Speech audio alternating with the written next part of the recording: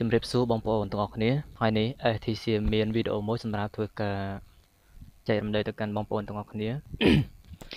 អូខេគឺយើងរៀនពីរបៀបធ្វើការ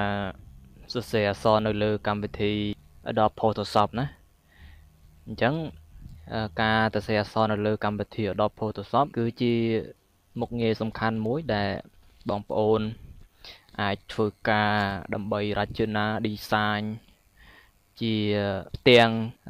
បដាផ្សេងផ្សេងណាឬក៏រចនាទៅលើ logo អីផ្សេងផ្សេងជា background អីផ្សេងផ្សេងដែលត្រូវការសរសេរអក្សរការ design អីគឺយើងអាចសរសេរអាចធ្វើនៅលើកម្មវិធី Adobe Photoshop នឹងបាន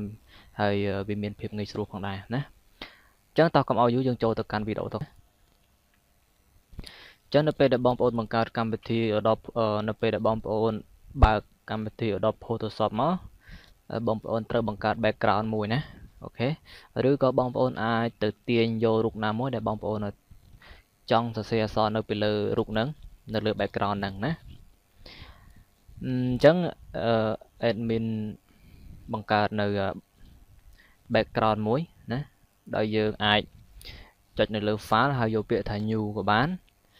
ដោយយើងអាចចុច control ហើយនឹងបុកនឹងអក្សរ n ផងដែរដើម្បីបង្កើតនៅ background មួយណាអូខេបន្ទាប់មកបងប្អូនកន្លែង name នេះបងប្អូនអាចដាក់ឈ្មោះ background បងប្អូនអាចដាក់ឈ្មោះអ្វីក៏បានដែរណាបន្ទាប់មកកន្លែងនេះកន្លែងនេះអត់បញ្ហាទេបងប្អូនអាចយក default ក៏បានបន្ទាប់មកបងប្អូនមកមើលកន្លែងនេះបងប្អូនវាយទំហំណា background បងប្អូនដែលត្រូវការបងប្អូនអាចវាយទំហំវាមកអានេះគឺបណ្ដោយហើយខាងក្រោមនេះគឺជាតតឹងណា អូខេបណ្ដោយគឺវាបណ្ដោយមកបែបនេះណាហើយតតឹងពីលើទៅក្រោមណាបន្ទាប់មកកន្លែង color បងប្អូនយក RGB color ហ្នឹងមកណាហើយកន្លែងនេះយើងយក pixel ហ្នឹងមកប៉ុណ្ណឹងទេហើយបងប្អូនចុច OK មកអញ្ចឹងយើងនឹងបានផ្ទាំង background មួយដ៏ស្អាតដែលអត់មានប្រឡាក់ប្រឡោសអត់មានអីទេណាហើយយើងអាចចាក់ពណ៌ទៅលើ background នឹងបានបើសិនជាបងប្អូនត្រូវការចាក់អូខេអញ្ចឹងនេះគឺជាផ្ទាំង background ដែល admin បាន ធ្វើការ screen shot នៅលើកុំព្យូទ័រហ្នឹងដើម្បីទៅសេអក្សរនៅលើវាអញ្ចឹងនៅពេលដែលយើងមានផ្ទាំងរូបភាពមួយបែបហ្នឹង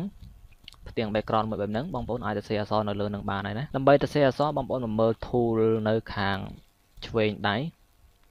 គឺវាមាន tool ច្រើនណាហើយបងប្អូនមកមើលកន្លែងអក្សរ T ណាហើយចុចលើវាមក horizontal ណា high tool យើងយកកន្លែង high tool នេះខាងលើគេបងប្អូនយកកន្លែងហ្នឹងមក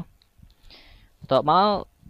បងប្អូន click នៅលើ background យើងមួយណា យើងចុចនៅលើ background យើងមួយមកគឺដើម្បីដាក់ការសរសេរអឺពណ៌ដែលបងប្អូនចង់សរសេរនៅលើអក្សរហ្នឹងណាបងប្អូនចុចមកលើកន្លែងនេះក៏បាននៅលើកន្លែងនេះក៏បានណាដើម្បី select យកពណ៌អក្សរដែលបងប្អូនចង់សរសេរឲ្យចេញឥឡូវឧទាហរណ៍យើងចង់បានពណ៌ក្រហមបងប្អូនយកពណ៌ក្រហមមកណាអញ្ចឹងគឺវានឹងលោតទៅជាពណ៌ក្រហមហើយបងប្អូនសរសេរអក្សរមកណាហើយបន្ទាប់មកបងប្អូនអាចរើស font កន្លែងនេះបាន តើមកឧទាហរណ៍ថា admin សរសេរអក្សរមួយណា how how to turn window defender uh, firewall on or off ណា OK ឧទាហរណ៍ admin ចង់សរសេរបែបហ្នឹងណាហើយបន្ទាប់មកបងប្អូនអាចដូរអក្សរបានដូរ font OK យើងអាចយក Times New Roman នេះមក font អក្សរអង់គ្លេសហើយយក bold OK ដាក់អក្សរឲ្យដិតធំហើយទំហំបងប្អូនអាចរើសទំហំបានតាមចំណង់ចំណូលចិត្តបងប្អូនណា OK អញ្ចឹងឧទាហរណ៍បងប្អូនចង់ពង្រីកអក្សរឲ្យធំជាងហ្នឹងបងប្អូនអាចអឺ control អក្សរ T មកហើយបន្ទាប់មកបងប្អូនអាចពង្រីកអក្សរនឹងបានហើយណា OK OK បន្ទាប់មកឧទាហរណ៍យើងចង់សេអក្សរខ្មែរវិញណាបងប្អូនចុចលើនឹងដូចគ្នាហើយសេអក្សរខ្មែរមកយើងដូរមកអក្សរខ្មែរហើយយើងរើស font មក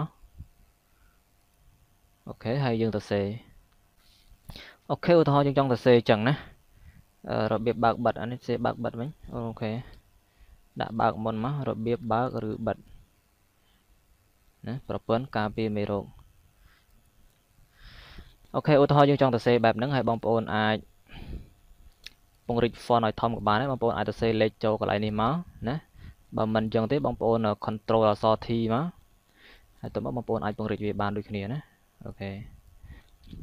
ចឹងដល់ពេលដែលយើងបានអក្សរបែបហ្នឹងហើយបងប្អូនអាចធ្វើការ design ទៅលើអក្សរហ្នឹងបែបផ្សេងផ្សេងដែលបងប្អូនត្រូវការណាឧទាហរណ៍យើងដំបូងឡើយបងប្អូនយកកន្លែង layer ហើយបន្ទាប់មកយកពាក្យថា layer style ណាហើយបងប្អូនជ្រើសរើស stroke ក៏បានឬក៏ color overlay នឹងក៏បានដែរណា stroke ហ្នឹងគឺសម្រាប់ឲ្យយើងធ្វើការចាក់ណាសុំពណ៌ខាងខាងនៅលើអក្សរ ណាចាក់ពណ៌សុំអក្សររបស់យើងខាងខាងនេះបងប្អូនឃើញណាអញ្ចឹងយើងអាចដូរពណ៌បាននៅកន្លែងនេះណាបងប្អូនអាចដូរពណ៌កន្លែងហ្នឹងបានដាក់ពណ៌ក្រហមក៏បានពណ៌ខៀវក៏បានពណ៌សក៏បានណាពណ៌អីក៏បានដែរអញ្ចឹងឧទាហរណ៍អឺ admin ចង់ចាក់ពណ៌ខ្មៅហើយមួយទៀតបងប្អូនអាចដូរពណ៌អក្សរហ្នឹងក្រហមណា បងប្អូនអាចដូរទៅជាពណ៌ផ្សេងបានដាក់ពណ៌លឿងក៏បានដែរណាឬក៏ពណ៌អីផ្សេងក៏បានយើងដូរនៅតាមនឹងតាមក្រោយក៏បានអត់បញ្ហាទេឬក៏បងប្អូនអាចមកដូរនៅកន្លែងនឹងក៏បានដែរយើង select លើអក្សរហើយយើងចុចពណ៌នៅកន្លែងហ្នឹងគឺវាដូរពណ៌អក្សរនឹងដូចគ្នាអូខេហើយបើសិនជាបងប្អូនមិនចង់ដាក់ពណ៌ហ្នឹងទៅឧទាហរណ៍បងប្អូនចង់លេង style ផ្សេងផ្សេងបងប្អូនអាចជ្រើសរើសតាមនឹងបានណាឧទាហរណ៍នៅលើ gradient overlay នេះ គឺយើងចាក់ពណ៌បែបចម្រុះណាយើងចាក់ពណ៌បែបចម្រុះឧទាហរណ៍ឧទាហរណ៍ពណ៌នេះអញ្ចឹងគឺវាលោតពណ៌ចម្រុះឲ្យយើងណាវាមានសមានក្រហមមានអីលាយគ្នាអញ្ចឹងទៅណាអូខេឃើញកន្លែង gradient overlay នេះអញ្ចឹងបងប្អូនអាចបង្កើតពណ៌ខ្លួនឯងក៏បានដែរណាបើសិនជាបងប្អូនត្រូវការហើយបើសិនជាបងប្អូនចង់បាន តាមតម្រង់របស់ អឺ Adobe Photoshop ក៏បងប្អូនអាចយកតាមនឹងបានដែរណាអូខេវាមានពណ៌យើងជ្រើសរើសស្អាតស្អាតដែរអញ្ចឹងបើសិនជាបងប្អូនចង់ធ្វើអាចធ្វើបានណាតាមនឹងមកអូខេហើយមួយទៀតបើសិនជាបងប្អូនចង់ធ្វើឲ្យអក្សរណាចង់ធ្វើឲ្យអក្សរហ្នឹងវាមានរចនាបថបែបគ្រើមបែបកន្លែង pattern overlay នេះមកហើយបងប្អូននៅកន្លែងនេះបងប្អូនអាចជ្រើសផ្សេងផ្សេងបានហើយកន្លែងនេះវាមានប្រភេទ crash ហើយវាមានប្រភេទអីគេផ្សេងផ្សេងទៀតណាឃើញណាដែលចាក់នៅលើអក្សររបស់យើងណាអូខេគឺវាបែបហ្នឹងហើយវាមានប្រភេទ water អីវាចាក់ទៅវាចេញបែបហ្នឹងហ្នឹងឃើញឃើញណាហើយមួយទៀតបើសិនជាកន្លែង outer clone នេះបងប្អូនចាក់សុំដែរណាចាក់សុំ អូខេពង្រីកអានេះមកវាចេញឲ្យយើងណានេះចឹងកន្លែងនេះគឺវាចាក់សុំណាចាក់សុំអក្សរបែបចម្រុះពណ៌ចឹងបងប្អូនអាចធ្វើការជ្រើសរើសនៅកន្លែងនឹងបានហើយមួយទៀតកន្លែង drop zone នេះគឺជាកន្លែងចាក់ស្មោលណាគឺជាកន្លែងចាក់ស្មោលទៅលើអក្សររបស់យើងអញ្ចឹងបងប្អូនអាចចាក់ស្មោលបានណាបងប្អូនអាចជ្រើសរើសកន្លែង color នេះមកដាក់ស្មោលពណ៌អីក៏បានដែរពណ៌ក្រហមពណ៌សពណ៌លឿងពណ៌ខ្មៅអីតាមចិត្តបងប្អូនជ្រើសរើសមកណាអញ្ចឹងបងប្អូនអាចចាក់ស្មោលបាននៅកន្លែងហ្នឹងហើយកន្លែងនេះគឺដើម្បីបង្វិលស្មោលអក្សរហ្នឹងឲ្យវា trade ទៅខាងណាណាបង្ហាញទៅខាងណាគឺយើងចាក់កន្លែងហ្នឹងមកណាកន្លែងនេះយើងសេរីតាមហ្នឹងមកស្មោលចាក់ស្ដើងចាក់ក្រាស់អីយ៉ាងណាបងមួយទៀតកន្លែង bevel and emboss នេះកន្លែងនេះគឺសម្រាប់ធ្វើអក្សរយើងហ្នឹងឲ្យវាមានបែបផុសណាឃើញ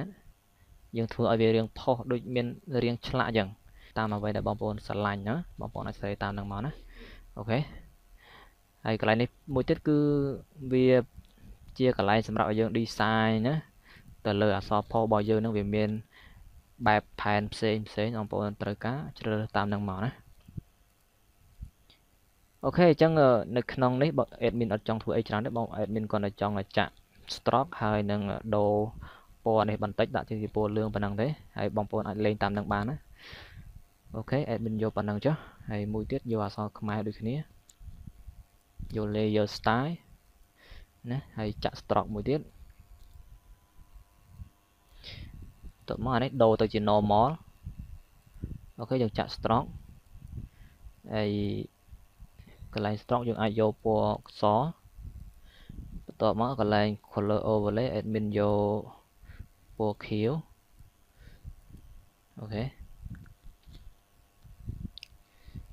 OK ប៉ុណ្ណឹងហើយ admin បង្រួមអក្សរបន្តិចដាក់កៀននេះតិចមក OK ខាងលើក៏បានដែ